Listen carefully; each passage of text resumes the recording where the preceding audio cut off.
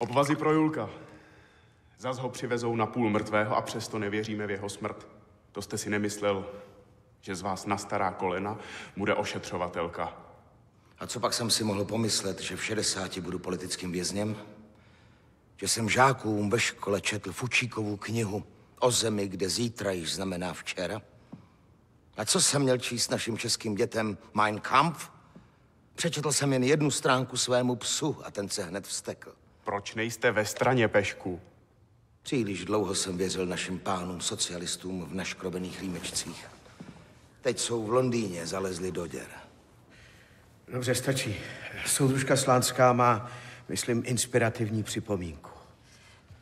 Soudruhu Štěpánku, já vím, že jste Fučíka dobře znal. Máte problém, madam? Jsem s ním.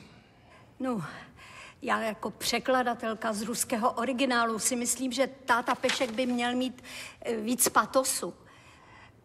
No, možná se budete divit, ale patos a opravdovost nemusí být v rozporu.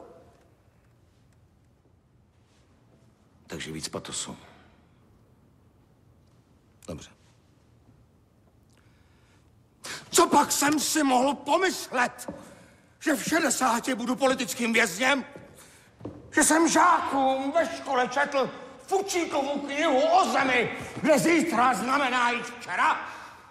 A co jsem měl číst našim českým dětem? Mein Kampf?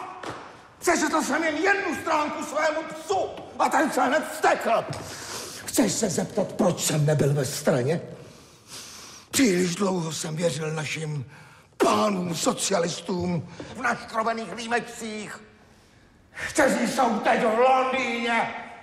Zalezli do děr! A já jsem tady sám!